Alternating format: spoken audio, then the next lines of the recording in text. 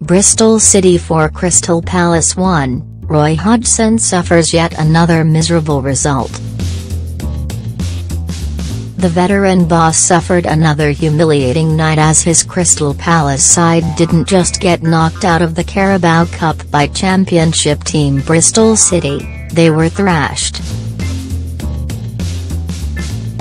And there was even a horror rerun of that awful night in Nice as Iceland international Hörður Magnusson set up one of City's goals with a long throw. With 39 minutes gone and his struggling Premier League side having just let in an equaliser, another Magnusson took a leaf out of Aron Gunnarsson's book as he hurled the ball into Palace's box.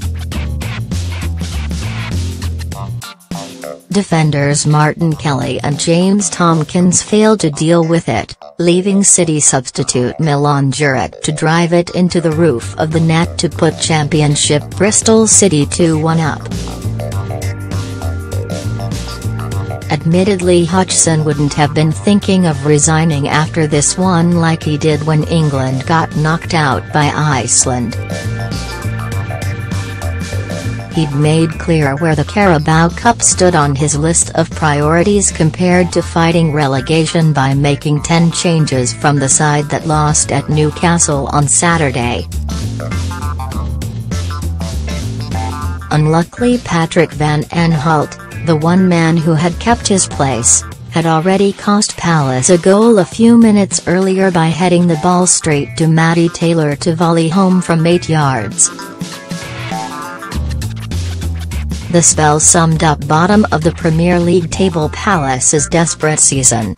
They had started well enough with Korean Lee Chung-yong stinging City goalkeeper Luke Steele's hands after only seven minutes with a ferocious volley.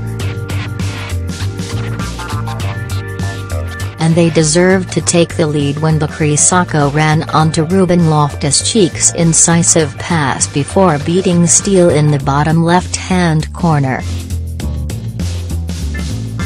But even among a group of players who have mostly not been heavily involved in first-team action, the lack of confidence was alarming as City were allowed to get back in the game. Lee Johnson's side, beaten 3-0 by Leeds on Saturday to drop out of the championship playoff places, were even able to shrug off the loss of record-signing striker Famara Diedhiou to injury.